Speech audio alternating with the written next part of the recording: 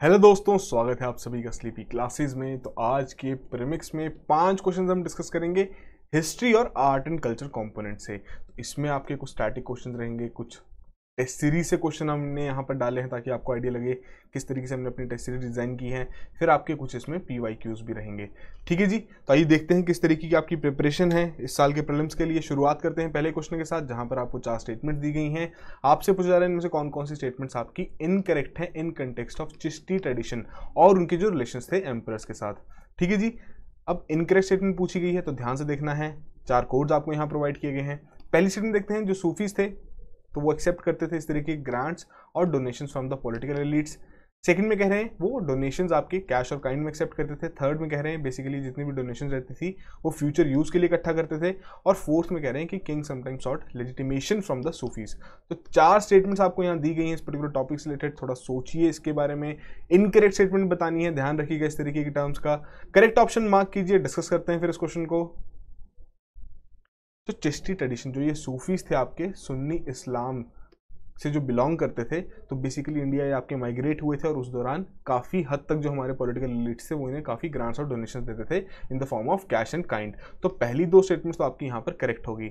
But third में जो बात हो रही है कि ये जितनी भी डोनेशन अपने फ्यूचर यूज़ के लिए रखते थे तो ये स्टेटमेंट आपकी यहाँ पर इनकरेक्ट है। बेसिकली जो भी उनकी अर्जेंट रिक्वायरमेंट्स रहती थी फ़ूड क्लोथिंग तो इन सभी चीज़ों के लिए जितनी भी इन्हें डोनेशन मिलती थी, उसे यूज़ करते थे। और फोर्थ स्टेटमेंट में करेक्टली बताया गया है, जो जितने भी राजा थे, सिर्फ़ वो ये नहीं चाहते थे कि उनका सिर्फ़ रिलेशन रहे इन सूफीज के साथ, वो इनसे लेजिटिमेशन भी सॉर्ट करते थे इन सोफिस के द्वारा कि उनसे पूछते रहते थे कंसल्ट करते रहते थे related to some social matters तो यहाँ पर आपकी थर्ड स्टेटमेंट ही इनकरेक्ट है और उसी के आधार पर सी ऑप्शन करेक्ट ऑप्शन है। ठीक है जी? फैक्चुअल नेचर क्वेश्चन था, आपको पता ही हिस्ट्री में ऑलमोस्ट आपके सारे फैक्चुअल नेचर के रहते हैं। डिफिकल्टी लेवल हम कह सकते हैं कि चार स्टेटमेंट्स आपको यहाँ पर दी गई थी तो उसके आधार पर medium to hard difficulty level है। तो जितने भी आपके ग्रुप्स माइग्रेट हुए थे इंडिया में in the late twelfth century जितने भी सूफीज के ग्रुप्स थे आपके, उसमें चिस्टीज आपके सबसे ज़्यादा इन्फ्लुएंशियल थे। क्यों?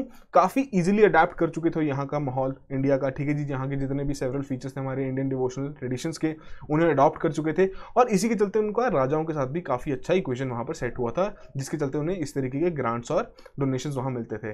किस तरीके की ग्रांट्स मिलती थी कि चैरिटेबल ट्रस्ट सेटअप कर दिया जाता था उनके लिए? फिर टैक्स फ्री लैंड उन्हें दे दी जाती थी। ठीक है जी?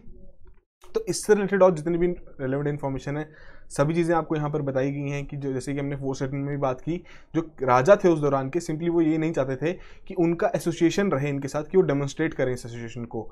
हालाँकि जितने भी अगर उनके सोशल मैटर रहते थे, उसमें टाइम टू टाइम वो इनसे सलाह मशवरा भी करते रहते थे। इंपॉर्टेंट पॉइंट्स हैं आपके प्रिलिम्स पॉइंट ऑफ़ व्यू से देखा जाए, जितनी भी इन्फॉर्मेशन यहाँ पर आपको दी गई हैं, सारी रेलिवेंट कंटेक्स्ट में ही दी गई हैं तो अपने नोट्स में से ज़रूर कंपाइल कर लीजिए। सिंपल सा क्वेश्चन था।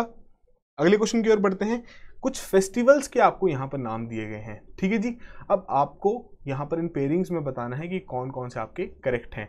पहले में कह रहे हैं सागदवा बुद्धिस्ट फेस्टिवल है जो कि सेलिब्रेट करता है birth enlightenment of Buddha second में खर्ची पूजा के बारे में कह रहे हैं, एक फोक फेस्टिवल है जो कि सेलिब्रेट करता है बर्थ ऑफ़ कृष्णा थर्ड में हॉर्नबिल फेस्टिवल के बारे में बात हो रही है कि एग्रीकल्चरल फेस्टिवल है आपका नागालैंड का, और अंबुबाची मेला के बारे में कह रहे हैं कि आपके हार्वेस्ट को सेलिब्रेट करने के लिए फेस्टिवल मनाया जाता है। इसी से रिलेटेड आपको चार कोड्स यहाँ पर प्रोवाइड किए गए हैं कि इनमें से कौन कौन से आपके पेयर्स यहाँ पर करेक्ट हैं। थोड़ा सोचिए, आपने न्यूज़ में भी पढ़ते रहते हैं इस तरीके के फेस्टिवल्स को। करेक्ट ऑप्शन मार्क कीजिए डिस्कस करते हैं फिर इस क्वेश्चन को। तो देखिए, यहाँ पर आपका फ़र्स्ट और थर्ड ही करेक्ट है कि बेसिकली जो आपका खर्ची पूजा है, ये आपका कृष्ण से रिलेटेड नहीं, ये आपका लॉर्ड शिवजी से रिलेटेड है। ठीक है जी, और जो आपका अंबुबाची मेला है, ये आपका हार्वेस्ट से रिलेटेड नहीं। बेसिकली यहाँ पर कुछ आपके हम कह सकते हैं रिचुअल्स हैं, जिसके बारे में भी हम बात करेंगे, जो कि सेलिब्रेट किए जाते हैं। तो पहली बात क्या है कि बी ऑप्शन आपकी करेक्ट है फ़र्स्ट एंड थर्ड ओनली बात कर लेते हैं इन सभी फेस्टिवल्स के बारे में, साग दवा के बारे में। तो मोस्टली आपकी जितनी बुद्धिस्ट कम्युनिटीज़ हैं, जो कि आपके सिक्किम में रह रही हैं, वहाँ पर सेलिब्रेट किया जाता है। ठीक है जी, क्यों सेलिब्रेट किया जाता है? काफ़ी ऑस्पिशियस डे माना जाता है तिब्बतियन कम्युनिटी के लिए, और ये आपका फुल मून डे को ही सेलिब्रेट किया जाता है। That falls in the middle of Tibetan lunar month called Saga Dawa ठीक है जी, किस तरीके से सेलिब्रेट किया जाता है? यहाँ पर आपको इमेज में देख सकते हैं, इस तरीके का मेला वहाँ पर ऑर्गेनाइज किया जाता है।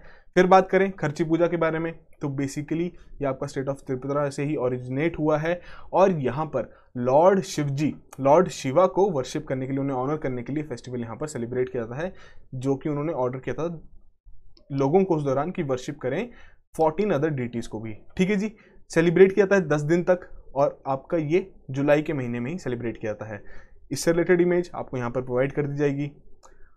फिर बात करें हॉर्नबिल फेस्टिवल के बारे में। नागालैंड में आपका सेलिब्रेट किया जाता है। एक हफ़्ते का ये आपका फेस्टिवल रहता है, जो कि आपके फ़र्स्ट दिसंबर से शुरू हो जाता है। ठीक है जी, इसमें जितने भी आपकी मेजर नागा ट्राइब्स रहती हैं, अटेंड करती हैं इस फेस्टिवल को, और बेसिकली जितने भी उनके टैलेंट है cultural vividness through costumes weapons bows और एरोस ये सभी चीज़ें वहाँ पर शोकेस की जाती हैं। इसके लिए भी आपको रेलेवेंस के लिए यहाँ पर इस तरीके का फेस्टिवल रहता है ये। फिर बात करें आपके अम्बुबाची मेला के बारे में तो बेसिकली आपके फर्टिलिटी रिचुअल्स के साथ एसोसिएटेड है। कहाँ पर सेलिब्रेट किया जाता है कमाख्या टेंपल जो कि आपका गुवाहाटी में है the state of Assam important हैं ये सारे फेस्टिवल्स किस तरीके से सेलिब्रेट किए जाते हैं कहाँ कहाँ सेलिब्रेट किए जाते हैं, और सभी के साथ आपको इमेजेस तो यहाँ जोड़ी दी गई हैं ताकि आप थोड़ा अच्छे से इन्हें याद रख सकें। ठीक है जी, ऐसे क्वेश्चन यूपीएससी आपसे पूछता भी है फेस्टिवल से रिलेटेड कि अच्छा कोई फेस्टिवल के आपको नाम दे दिए गए हों, या उससे रिलेटेड स्टेट ही यहाँ पर मैंशन कर दिया गया हो, बताइए इनमें से कौन कौन से पेयर्स आपके करेक्ट हैं। तो कैसा भी क्वेश्चन आए अच्छे से पढ़िए ताकि अगर एग्ज़ाम में ऐसा क्वेश्चन आए तो आप वहाँ पर अच्छा अटैम्प्ट दे सकें। सिंपल सा क्वेश्चन था। अगले क्वेश्चन की ओर बढ़ते हैं। बात हो रही है बुलंद दरवाज़ा के बारे में। बताना है इनमें से कौन सी आपकी एक ऐसी स्टेटमेंट है जो कि इनकरेक्ट है? चार स्टेटमेंट दी गई हैं। पहले हम कह रहे हैं it is a part of Fatehpur Sikri complex जो कि आपका 1601 में बनाया गया था अकबर द्वारा। यहाँ पर आपका ऑफ़ होगा ये। सेकंड में कह रहे हैं इसका कब बनाया गया था? बेसिकली इसे कमेमोरेट करने के लिए जो अकबर की विक्ट्री थी ओवर बंगाल उसलिए बनाया गया था। थर्ड में कह रहे हैं ब्यूटीफुली कार्व्ड है ये आपका, इसमें आपका मार्बल का भी काम किया गया है व्हाइट मार्बल का, और साथ के साथ इसमें आपके जीसस क्राइस्ट के भी वर्सेस लिखे गए हैं। तो चार स्टेटमेंट्स हैं, बुलंद दरवाज़ा से रिलेटेड थोड़ा सोचिए इसके बारे में, देखिए यहाँ पर कौन सी स्टेटमेंट्स आपके इनकरेक्ट हैं। करेक्ट ऑप्शन मार्क कीजिए डिस्कस करते हैं फिर इस क्वेश्चन को। तो बेसिकली ये बंगाल के ऊपर जो उनकी जीत थी, उसके लिए नहीं, जो गुजरात के ऊपर जीत थी, उसके लिए यहाँ पर ये इसका स्थापित किया गया था, इसे निर्माण किया गया था इस बुलंद दरवाजे का। इंपॉर्टेंट क्यों है? तो देखिए, ये जो बुलंद दरवाज़ा है, इसे हम गेट ऑफ़ मैग्निफिसेंस के नाम से भी जानते हैं। 1601 में ये बनाया गया था, जो अकबर की जीत थी गुजरात के ऊपर। तो ये आपका कहाँ पर है? फतेहपुर सीकरी में है, जो कि आपका आगरा के पास ही पड़ता है अराउंड फोर्टी किलोमीटर है वहाँ से। और ये आपका हाइएस्ट गेट है in the world and it is example of Mughal architecture important है इस तरीके से। और इसी के ही ऊपर आपकी जीसस के वर्सेस भी लिखे गए हैं, जिसमें क्या लाइंस लिखी गई हैं exactly that the world is a bridge pass over it build but build no houses upon it he who hopes for a day may hope for eternity but the world endures but an hour spend it in prayer for the rest is unseen simple सी बात क्या कहना चाह रहे हैं यहाँ पर कि जितने भी फॉलोअर्स हैं, वो वर्ल्ड को अपना परमानेंट होम ना माने, ठीक है जी? एज अ जर्नी की तरह ही इसे कंसिडर करें।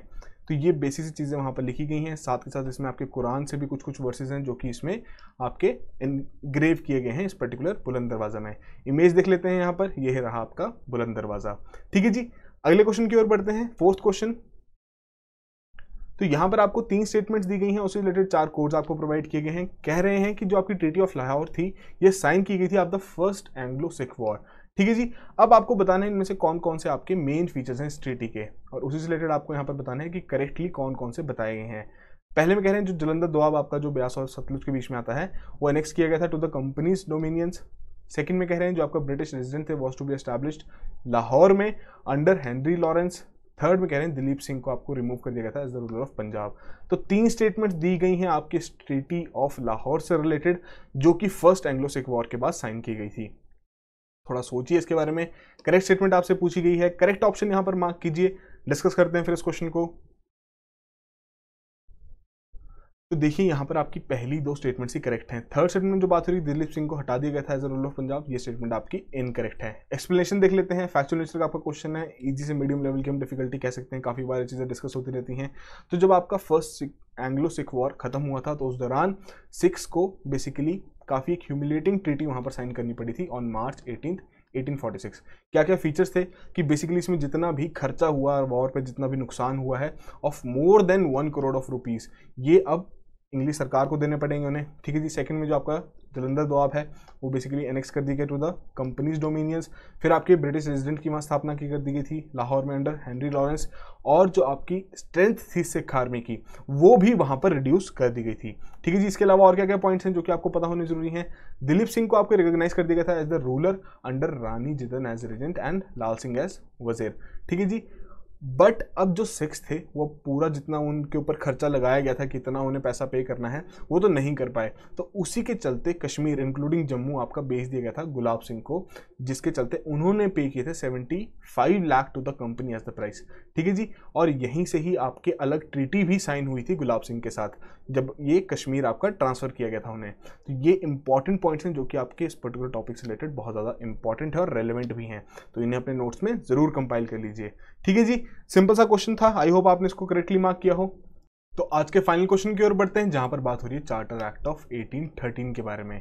तीन स्टेटमेंट्स आपको दी गई हैं, बताना है इनमें से कौन कौन सी करेक्ट है और उसी के लिए आपको चार कोड यहाँ प्रोवाइड किए गए हैं और ये है आपका 2019 का क्वेश्चन तो देखते हैं, पहली स्टेटमेंट कह रहे हैं कि इसने एंड कर दिया था trade monopoly of the East India Company in India except for the trade in tea and trade with China second में कह रहे हैं, इन्होंने असर्ट की थी sovereignty of British crown over the Indian territories जो कि कंपनी द्वारा होल्ड की जा रही थी। और थर्ड में कह रहे हैं, जो रेवेन्यूज थे इंडिया के, वो अब आपके ब्रिटिश पार्लियामेंट के कंट्रोल में थे। तो तीन स्टेटमेंट्स दी गई हैं। इस तरीके के एक्ट्स आपके काफ़ी इंपॉर्टेंट रहते हैं एग्ज़ाम पॉइंट ऑफ़ व्यू से। 1947 से पहले जितने भी एक्ट्स आपके आए हैं, उन्हें ज़रूर अच्छे से पढ़ लीजिए, अच्छे से कंपाइल कर लीजिए अपने नोट्स में।